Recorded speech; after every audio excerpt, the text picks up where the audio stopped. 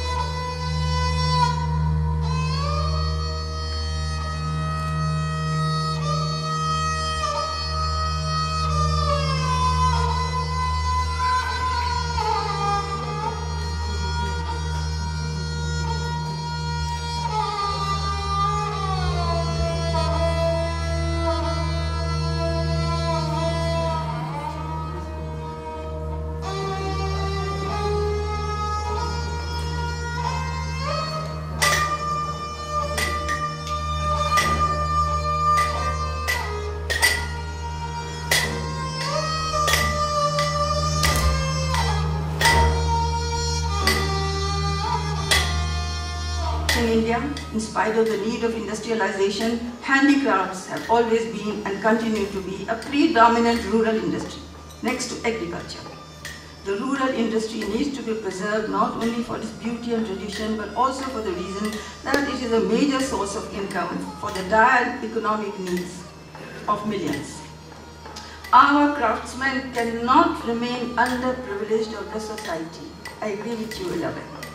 They should have the respect and dignity and the privilege of also being great artists.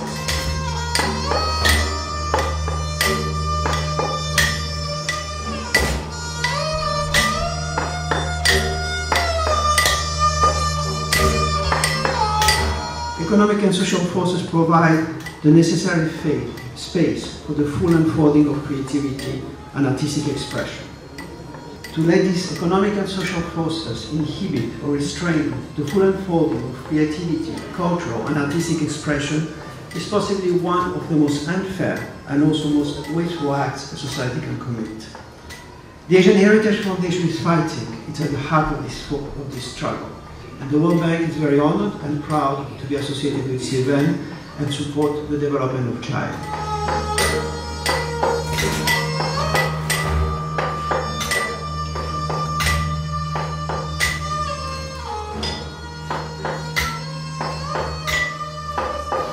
Gandhiji chose Khadi, he was speaking a craft that was more under attack from foreign industrialized powers.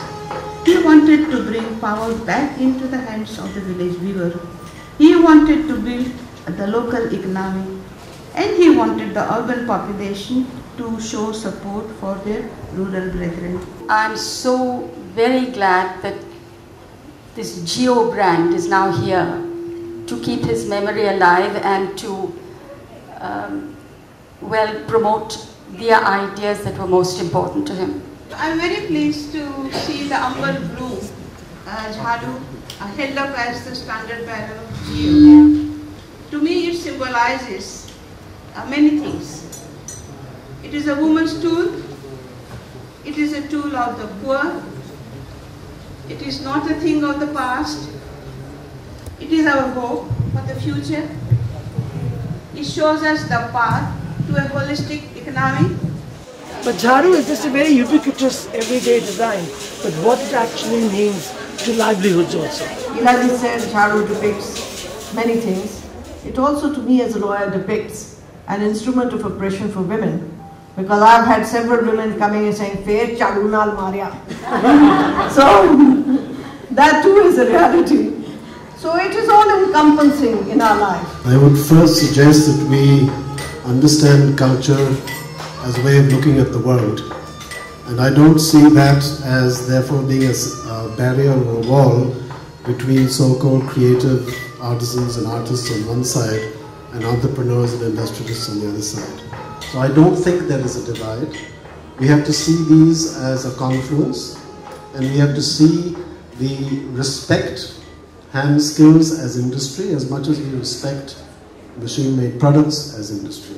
It should nevertheless be driven from the grassroots, not government or World Bank driven. And so I hope that while supporting, they will recognize the full independence and autonomy of culture, of diversity, of theatre and art that can only bloom by itself and feed on itself what we call globalization, in that setup, it seems that we are trying to fit into a pattern to suit other people's priorities. And we are sort of playing a role assigned to us. I, for one, am really happy uh, that this wonderful, this brand JIYO has come on the scene to put um, our priorities on the international map.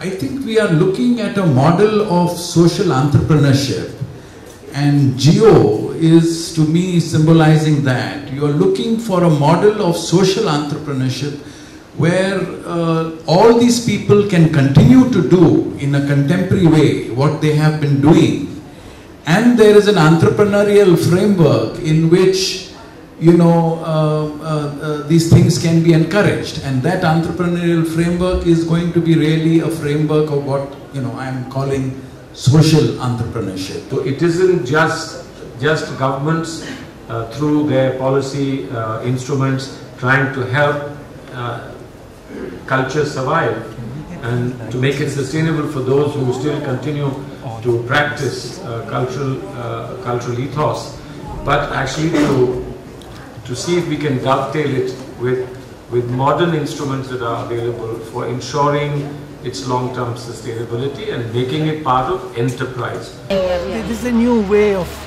sort of, you know, it costs only about 300, but the, the, the changeover, not per piece, -huh. but the whole unit. Right, right, right. Then look at this, this is Sham Sir. Sham is from Shinadji.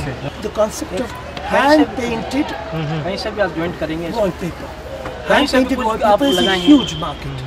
Huge market. But our problem is we can never marry those huge long scrolls which are silk screened because they, they don't have homes in their huts. So we said let's do a modular one that becomes even more playful. And you can use it in any way, any form and sort of yet have it hand painted. So all the pictorial traditions of India can come up with a new product altogether. And then to match that product with furniture. He's written JIYO. J I Y.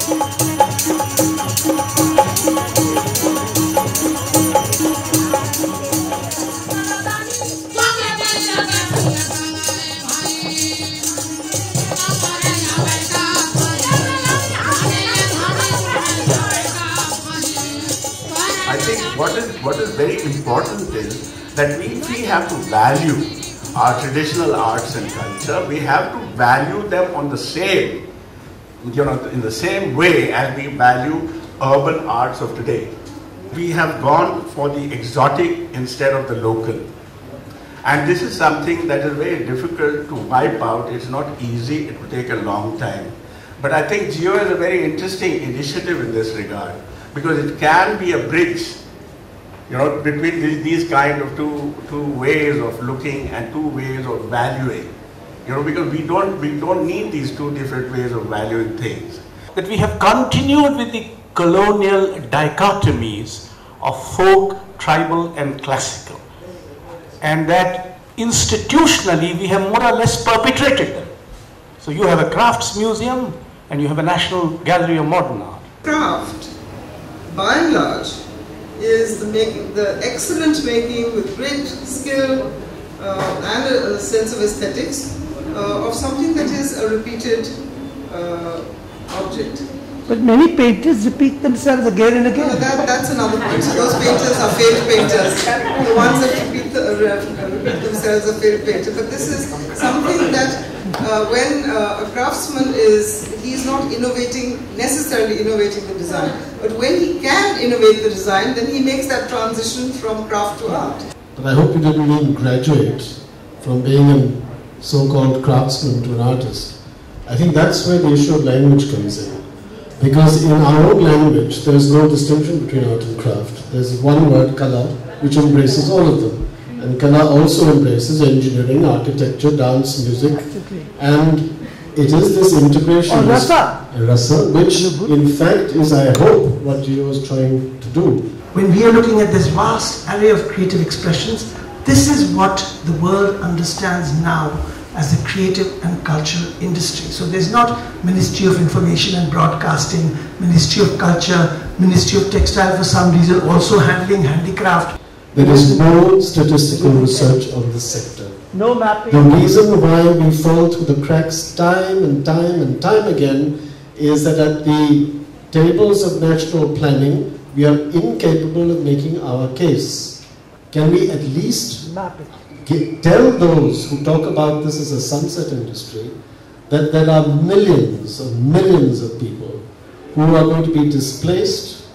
There will be more tragedy of migration, more environmental degradation if we do not take seriously the fact that millions of Indians today, tomorrow, and day after will have to live by their hands. All I want to say to you is that uh, we in government in different parts are trying to grapple with these ideas and thoughts and it is important to give us uh, some ideas. I think you're suggesting that self-organized sector is what it should be called. I think is a brilliant suggestion. This is something that can be done very easily and it will make an impact because I think essentially we are all trying to give each one of us a little more dignity and a little more uh, uh, personality so that we can fulfill our, our dreams.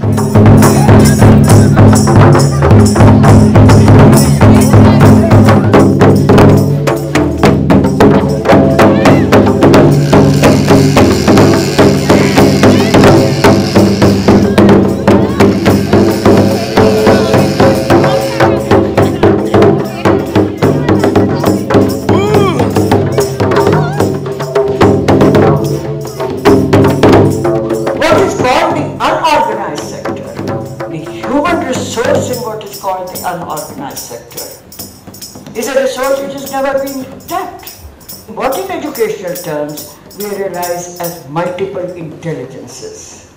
Those multiple intelligences do not have to prioritize literacy as the only indicator. Literacy is certainly necessary. No one is. But most of the craft sector, and if you did an analytical exercise, maybe your literacy figures may not be very high, but your cultural and skill figures are extremely high. And I have learnt all my dance from a person who couldn't sign his name.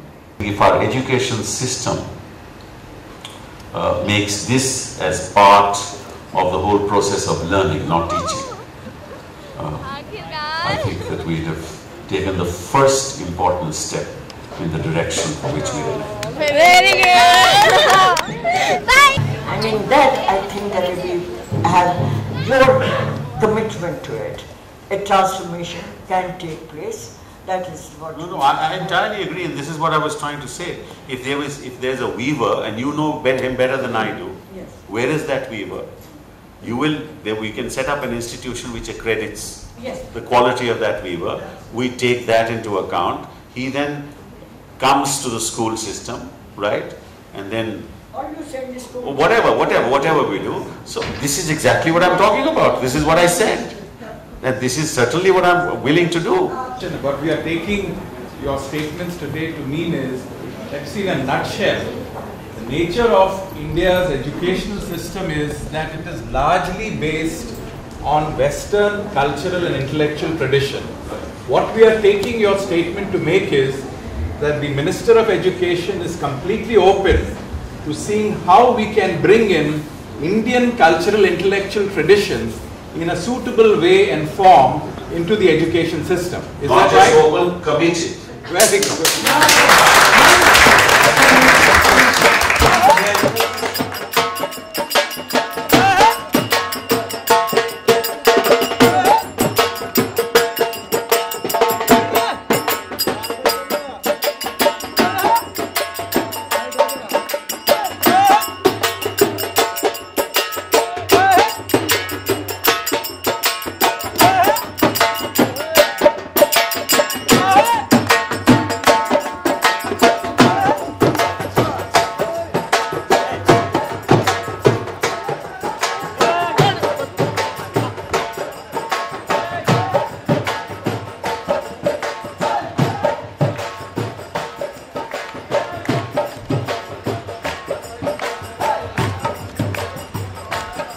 JIYO is a humble beginning to this great idea. Time has come to position our creative artisans not only on the in- an Indian brand, but I would say a global brand.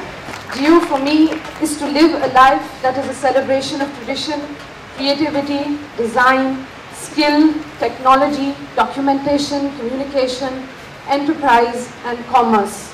It's a great pleasure. I never felt that, that I will come to Delhi and meet you all the artists and the whole project team team members.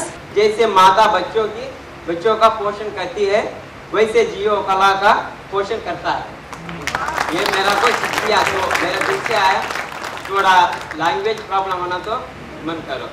Thank you मेरे लिए जियो एक आशीर्वाद है उन लोक कलाओं के लिए जो लुप्त होती जा रही हैं। मेरा नाम है हीरा कट मधुबनी रांटी की रहने वाली हूँ।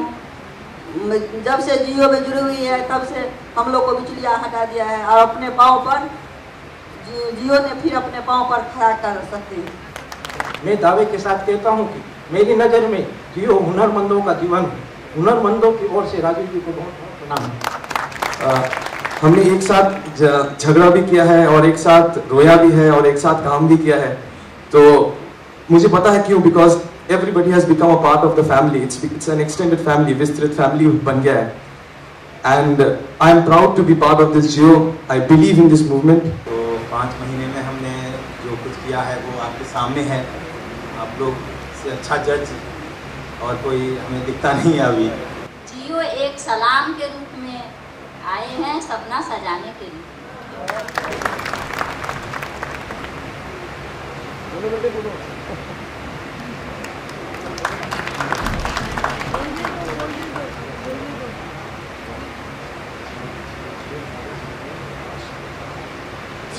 हमारा जीवन में प्रकाश लेकर आया है।